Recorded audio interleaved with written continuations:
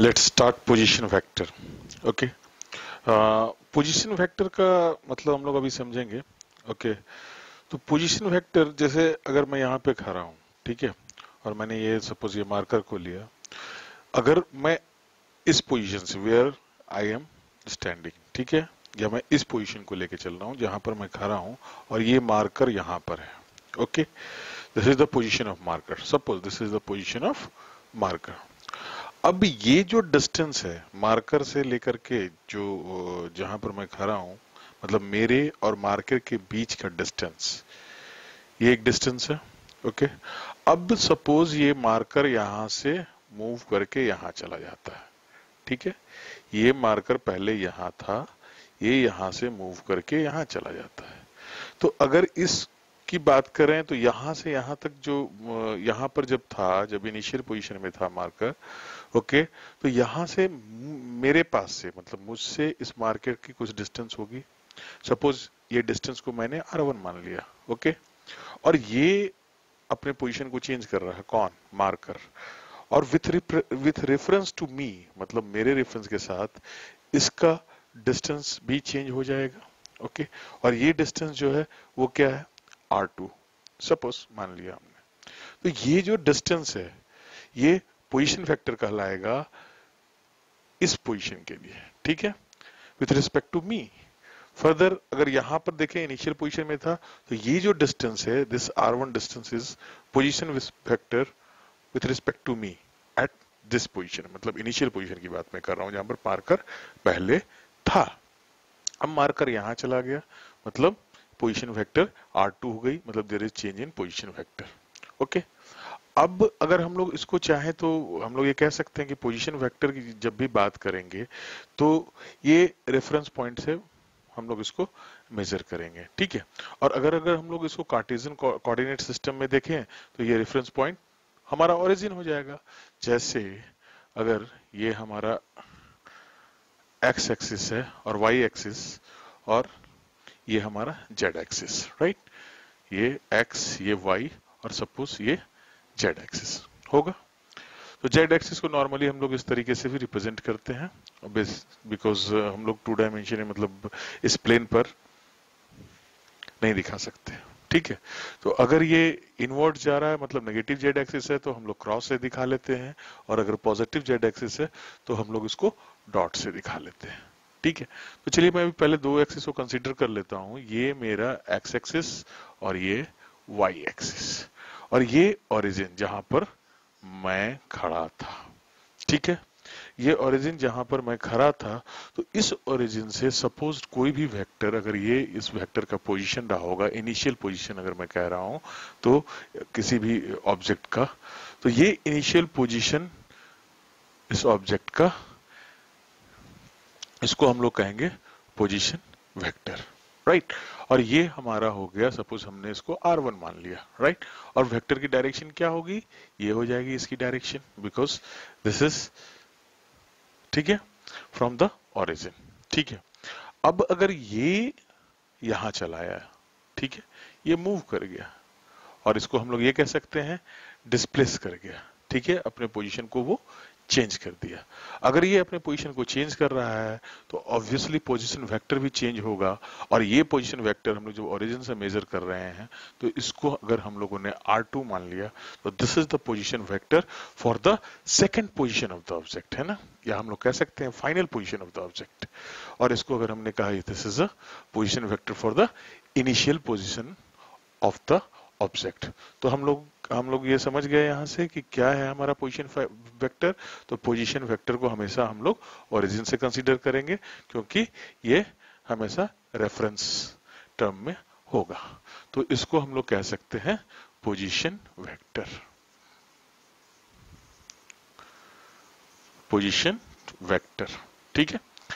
अब अगर आप देखें तो ये वेक्टर मतलब वेक्टर जो हमारा जो ऑब्जेक्ट था, उसने अपने पोजीशन को चेंज किया। कहाँ से कहाँ तक? मान लिया इनिशियली ये पोजीशन इसका ए था और ये चल के चला गया बी पोजीशन पे, है ना? जैसे हमने देखा मार्कर यहाँ रखा था, यहाँ से यहाँ चला गया वाइट तो ए से बी पे चला गया। तो ये जो डायरेक्शन है ए से बी पे जाने वाला डायरेक्शन इसको हम लोग कहेंगे यहाँ से यहाँ तक क्या हुआ? ये डिस्प्लेस कर गया। मतलब object A to B A to B displace कर गया इन दिस डायरेक्शन राइट तो ये जो डिस्प्लेसमेंट हुआ, इसको हम लोग कहेंगे डिस्प्लेसमेंट वेक्टर क्या कहेंगे? डिस्प्लेसमेंट वेक्टर ओके मेरे ख्याल से ये क्लियर हुआ होगा। अब अगर हमें डिस्प्लेसमेंट वेक्टर फाइंड करना होगा तो हम लोग कैसे फाइंड कर सकते हैं? तो डिस्प्लेसमेंट वेक्टर को फाइंड करने के लिए हम लोग को क्या करना होगा? Final position vector minus initial position vector मतलब फाइनल पोजीशन से इनिशियल पोजीशन को माइनस करेंगे, हमें डिस्प्लेसमेंट मिल जाएगा। तो अगर हम लोग फाइनल पोजीशन की बात करें तो ये जो होगा, वो हमारा R2 हो जाएगा और इनिशियल पोजीशन क्या होगा? R1 हो जाएगा। ओके ठीक है? तो हम लोग इसको कह सकते हैं जो डिस्प्लेसमेंट वेक्टर हो जाएगा मतलब अगर हम लोग डिस्प्लेसमेंट वेक्टर अगर हम लोग ए बी दिखा रहे हैं तो A B would be R two minus R one ठीक है? इसको हम लोग वेक्टर एडिशन से भी देख सकते हैं। ओके वेक्टर एडिशन से भी देख सकते हैं। आ, जो कि मैं अभी डील करूँगा आगे। तो मैं सिर्फ़ अभी यहाँ पर पोजीशन वेक्टर बता रहा हूँ। मैं थोड़ा सा बता देता हूँ। अगर वेक्टर एडिशन करते हैं triangle law of math rule से okay triangle law of addition से तो ये आपका R one plus A B okay तो रिजल्टेंट जो आपका हो जाता है आर टू तो हम लोग इसको लिख सकते हैं R one plus A B is equal to R two और अगर हम लोग को ए बी निकालना होगा तो हम लोग लिख सकते हैं A B is equal to R two minus R one okay तो ए बी क्या है हमारा यहाँ पर? A B is nothing but a displacement vector ठीक है? अब अगर हम लोग चाहें तो इसको कार्टिजन कोऑर्डिनेट सिस्टम में लिख सकते हैं, ठीक है? अगर चूँकि ये ऑब्जेक्ट को हमने दिखाया कि इसकी मोशन जो है एक ही प्लेन में हो रही है मतलब एक्स वाई प्लेन में हो रहा है राइट तो हम लोग एक्स वाई कंसिडर किए। अगर ये ऑब्जेक्ट समवॉट यहाँ पर चल रहा होता, यहाँ से चला होता और यहाँ पे चला आया होता, ओके? अगर ये ऑब्जेक्ट यहाँ से यहाँ चला आया होता तो ऑब्वियसली इट मीन्स कि ये थ्री डायमेंशन में थ्री डायमेंशन होगा इसका मोशन राइट मतलब एक्स वाई और जेड तीनों कोऑर्डिनेट को हम लोगों को कंसीडर करना पड़ेगा। राइट अगर हम लोग ये देखें कि प्लेन में अगर कंसीडर कर रहे हैं तो ऑब्वियसली इसको हम लोग यूनिट वेक्टर में भी डिस्प्लेसमेंट वेक्टर को रिप्रेजेंट कर सकते हैं। ठीक है? तो वो कैसे करेंगे? चलिए शुरू करते हैं। सबसे पहले अगर हम लोग इस, पॉइंट को देखें ओके अगर हम लोग इस पॉइंट को अगर हम लोग देखते हैं तो ये डिस्प्लेसमेंट इसका एक्स एक्सिस पे अगर हो रहा है तो मैं इसको एक्स वन मान लू। राइट कोई दिक्कत नहीं। ऑब्वियसली और इसको अगर हम लोग, चूँकि ये x क्या है दिस इज़ द मैग्नीट्यूड मतलब कितना x डायरेक्शन में वो चला, इसका मैग्नीट्यूड क्या है? ये आपका है x ठीक है? या x x1 बिकॉज़ हम लोग दो पोजीशन ले रहे हैं। अब इसका ऑब्वियसली हम लोग वेक्टर में देख रहे हैं तो वेक्टर में हम लोगों को वेक्टर चाहिए। और यूनिट वेक्टर में हम लोग वेक्टर को कन्वर्ट करके यूनिट वेक्टर में हम लोग इसको रिप्रेजेंट कर सकते हैं। और आपको पता है कि एक्स डायरेक्शन में जो यूनिट वेक्टर होगा, वो हम लोग क्या लेते हैं? I I cap. मतलब ये हमारा डायरेक्शन भी हो गया, कोई दिक्कत नहीं है। अब अगर हम लोग इसको यहाँ पर ले लें तो क्या ये वाई डायरेक्शन को इंडिकेट कर रहा है? ऑब्वियसली ये वाई डायरेक्शन में इतना चला हो। This is the position with respect to origin तो y डायरेक्शन में अगर हम लोग देखें तो हम लोग इसको y1 लिख सकते हैं राइट और ये जो हम लोग चाहें तो इसको y डायरेक्शन में क्या लिखते हैं? j कैप लिखते हैं यूनिट वेक्टर जो हम लोग इसके लिए यूज़ करते हैं, j j कैप लिखते हैं। सिमिलरली अगर हम लोग इस पोजीशन को देखें तो ये जो पोजीशन है, अगर हम लोग इसकी दूरी, अगर हम लोग x2 कर लें तो लिख सकते हैं x2 i कैप राइट और इसकी दूरी अगर हम लोग देखें तो क्या लिख सकते हैं? ये लिख सकते हैं y2 मतलब इस पोजीशन की बात हो रही है, इसको हम लोग लिख सकते हैं y2 j कैप राइट तो ये पोजीशन है y2 j j कैप की, और ये जो पोजीशन थी, ये किसकी थी? Y1 j कैप की। ठीक है, अब अगर हम लोगों को इसका डिस्प्लेसमेंट वेक्टर निकालना है यूजिंग दिस कोऑर्डिनेट सिस्टम तो हम लोग क्या कर सकते हैं? हम लोग कह सकते हैं A B equal to R two minus R one ठीक है मतलब ये ए बी जो हम लोगों ने निकाला, इसके पोजीशन को माइनस करेंगे। ठीक है तो अगर हम लोग इसको लिखना चाहें कि A B is equal to R two minus R one right R two minus R one ठीक है तो आर टू आप क्या लिखोगे? आर टू हम लोग लिखेंगे, ये जो है इसको हम लोग लिख सकते हैं R2 या R1 R2 का पोजीशन क्या है? X और y पोजीशन हम लोग लिख सकते हैं। R2 का x, y पोजीशन क्या लिख सकते हैं? X2 i cap okay x2 i cap और क्या? ये इधर प्लस इधर क्या है आपका? Y2 j कैप ये। ठीक है? ये आपका एक्चुअल पोजीशन है. And that is minus minus हम लोग ले रहे हैं आर वन आर वन की पोजीशन क्या हो रही है?